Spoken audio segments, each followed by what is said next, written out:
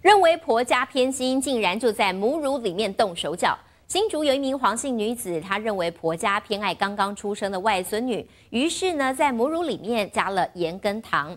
由于母乳变质，加上这女婴常常不喝奶，就医之后发现了女婴体内的钠含量是过高的，造成了肝功能异常。而透过厨房加装的监视器，揭穿了真相。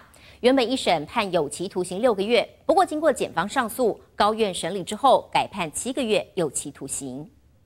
一名女子因不满婆家偏心，竟然对自己刚出生的外甥女要喝的母乳里动了手脚。时间往回推一百一十年，这名黄姓女子和丈夫、小孩公婆同住。由于大姑常把刚出生的女婴带回娘家，让黄姓女子心生不满，认为婆家偏爱外孙女，不疼自己的小孩，偷偷在外甥女的母乳里加了盐巴和砂糖。后来母亲发现母乳变质，女婴常喝不下，带女婴去就医，发现女婴体内钠含量过高，肝功能指数异常。随后在厨房加装监视器，揪出原来就是黄姓女子在搞鬼。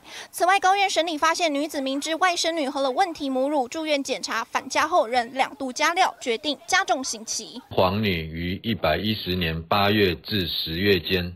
在出生不久外甥女饮用的母乳中加食用盐、糖等物，导致身体健康受损。台湾新竹地方法院判决黄女有期徒刑六月。本署检官认为黄女的行为恶性重大，依法提起上诉。全案日前经台湾高等法院改判有期徒刑七月。法院审酌黄姓女子始终认罪，女婴的健康状况也趋正常，还用女婴的名义捐款一万五千多元等，改判她七个月徒刑，但仍难以挽回一时冲动所犯下的。错，婚姻破裂，离婚收场。解新竹综合报道。